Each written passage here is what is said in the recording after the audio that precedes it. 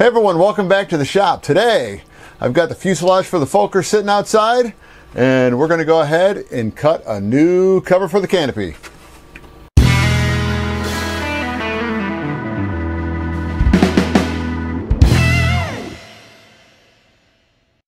All right, for those of you that have not used one in the past, that's a scroll saw, and that scroll saw is older than me.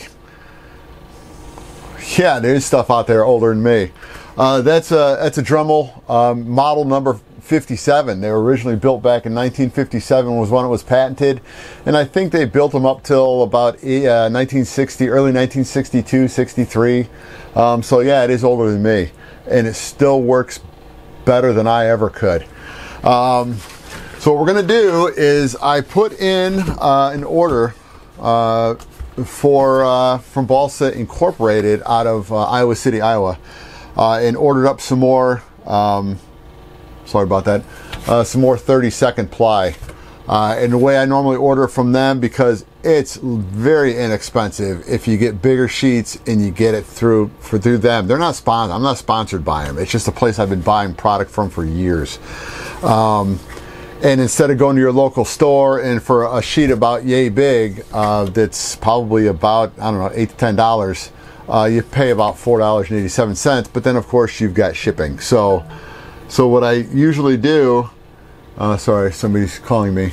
Uh, what I normally do is just make sure I've got a buying enough product to cover the cost. So I ended up just getting uh, some uh, six, some thirty fourth uh, eighth inch and some quarter inch because I'm going to need some quarter inch uh, when it comes time to uh, put in the firewall. So I just went ahead and got enough so I've got enough to last me quite some time. So anyway, I've already got it traced out.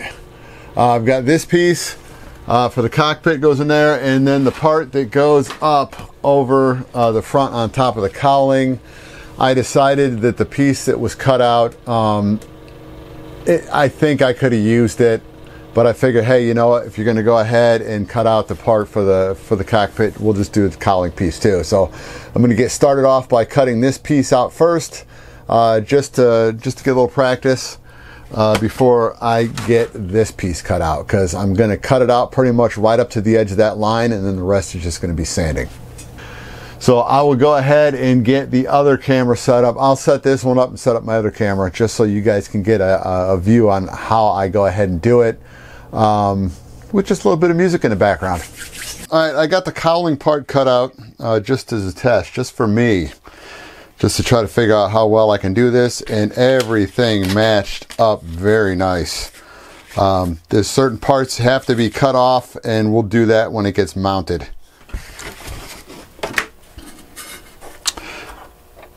All right, the way that these things work is you take the little teeny blade out. That is the little teeny blade. That does all the work. I'm going to go ahead, put this in, and then hook it back up on the inside to where the blade hooks onto right there. Put this up on top and pull it in. We're ready to cut.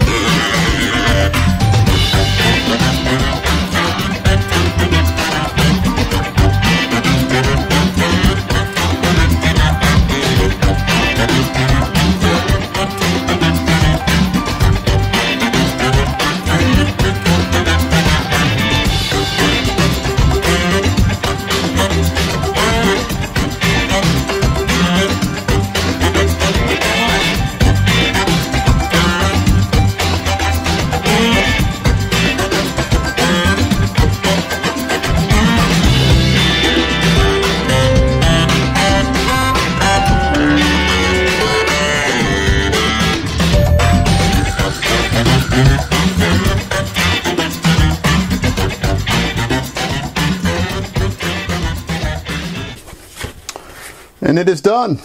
Just a little bit of sanding and we are ready to put it back on the plane. It does not take too long. I don't know how well you're going to be able to see this. The, the, the cut is very clean and I cut it all the way down to the where the pencil line was. And you can see where it ended the cut right here. This little, it just popped it off. So I've got to sand this down, but uh, just, you just take your time with the scroll saw and you got very little cleanup and it's going to come out looking very nicely.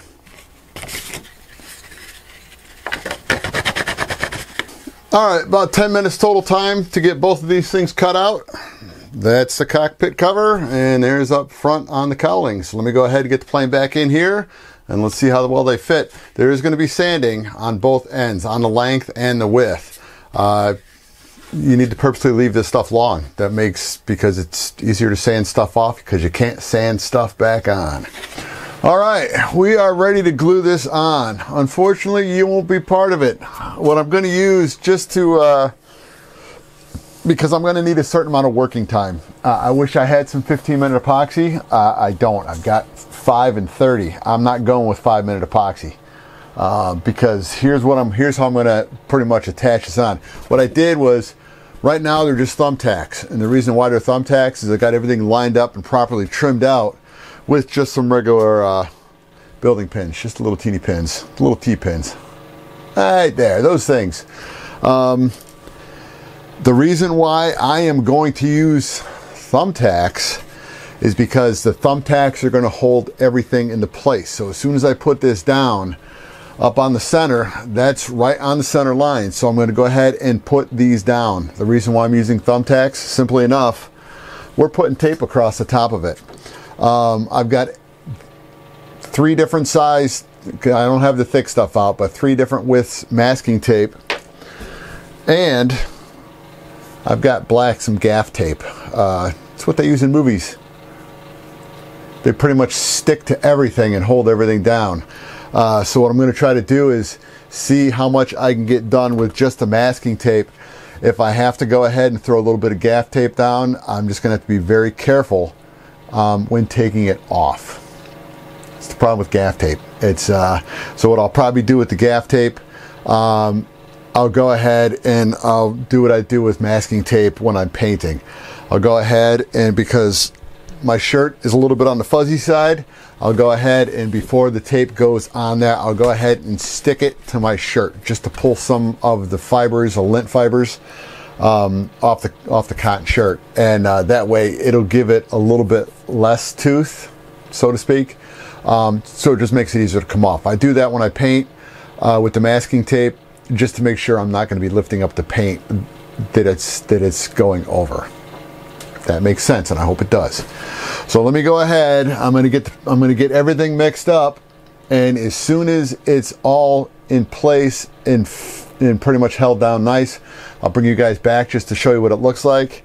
And then because it's one hour epoxy, um, I and it's almost 5 p.m. It's gonna be. Uh, I'll probably just wait till uh, tomorrow morning uh, before I head off to work uh, to come down and inspect it. And then, of course, you guys will be down there early in the morning just to see me pull everything off and just to see what it looks like. All right, as you can see, it's all done. And the gaff tape itself, the gaff tape is a godsend. If you guys got like a hundred bucks burning up a hole in your pocket,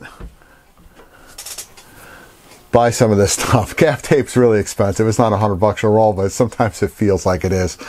Um, you're not going to use it that often, but when you do use it, uh, stuff is awesome. So let me go ahead, and get the cannon up, and then let's take you back and uh, show you what it looks like. All right, let's see how well you can see this. Just because of the light differential, uh, we're all good along the outside edges. On the back side, it's all sitting down properly right on top, and it does have epoxy all the way across each former, across each stringer. The best thing I can do is show you up here at the front. As you can see, there's no gaps at all, all the way over the top. And what I did was when I lined it up with, uh, with the thumbtacks, I pulled out the front, the rear. I have not pulled this one out. Before I go, this one will get lifted out because I don't want it stuck in there. So uh, one less thing they have to try to battle to get out. So you got to figure right about now, 534, this stuff should be starting to firm up. Um, so normally with 30 minute epoxy, um, I don't usually try to touch it for at least two hours. Um, one hour epoxy, I don't touch it for about 12. So what I'll probably do is I'll come on down here. Eh, I'll probably just wait till tomorrow morning. Just run down here about, I don't know, 9 o'clock uh, in the morning and then uh, test it out. So I will leave all of the cameras in the do goodies and say hi to the director. He's smiling. Um, so uh, what I'll do is I'll leave everything down here tonight. Normally I bring it all upstairs. I'll leave it all down here. So I'll just come down here first thing in the morning and show you guys what everything looks like. 24 hours later. All right, well, I've got the top of the cockpit put on and also the top of the cowling. Uh, so I'm going to give you a quick little run through just to show you what it looks like. There's still more work to be done. It's not finished. So to me, it looks a little on the messy side still, but like I said, there's still going to be work to be done. Uh, my goal was to try to get those top pieces put back on, and they're both put on. So it's everything else is going to be me working up to the edges of it to make sure that the transitions are going to be nice when it comes time to cover it. That'll be done through balsa and also through uh, through that stuff. It's, it's just a just spackling compound for drywall and uh, it works just fine uh, filling up the little teeny gaps because the shrinkage is almost nothing on it. So uh, by the time you get it covered, you won't even know it's there. So let me go ahead and grab the other camera and give you a little look-see. All right, as you can see, we have all good seam lines that we didn't have before. Down here on the bottom, everything is nice and tight.